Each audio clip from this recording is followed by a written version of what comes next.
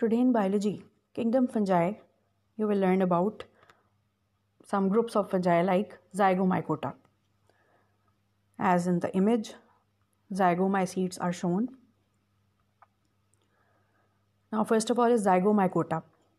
These are also known as zygomycetes or conjugating fungi, able to exchange their genetic material.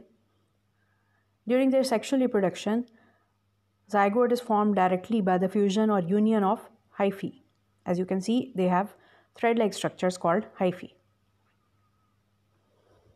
Now there is fungal diversity. Zygomycetes' common name is thread fungi because they look like threads. Their structure, they have long structure stolons, they grow along the surface and they also grow on food, spoiled food like bread.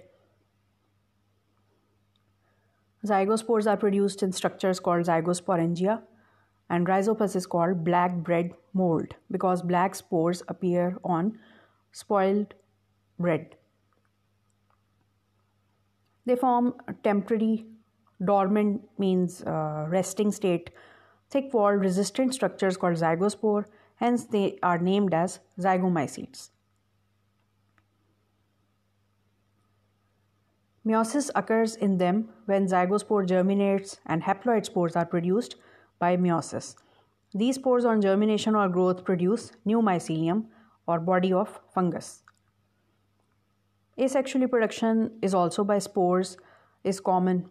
Hyphae are cenocytic, that is, they lack cross walls. Example is Rhizopus black bread mold and is found growing on spoiling moist bread and fruits as if you place a piece of uh, bread in moisture or air. After some days you can see some black spores appear on on them. They are called rhizopus or black bread mold. Some pictures of rhizopus are shown under microscope. And finally uh, rhizopus fungus it produces black colored spores on spoiled bread